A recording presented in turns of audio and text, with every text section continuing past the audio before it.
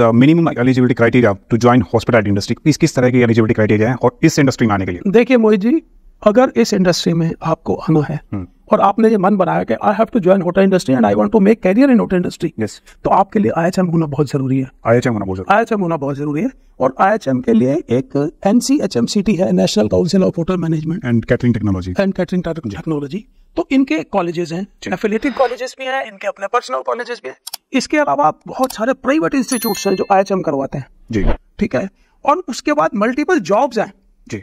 जब आप आई कर लेते हो आई करने के बाद आज की डेट में मैं आपको बताऊँ जी कि होटल के अंदर एक प्रोग्राम होता है जिसको मैनेजमेंट ट्रेनिंग कहते हैं। एक किचन ट्रेनिंग प्रोग्राम है एक मैनेजमेंट ट्रेनिंग प्रोग्राम सपोज़ मेरे को यह है कि मुझे सिर्फ़ किचन लाइन ज्वाइन करनी है। जी। तो मैं अपनी प्रोफ़ाइल के हिसाब से मैं किचन ट्रेनिंग ज्वाइन करूँगा। जी।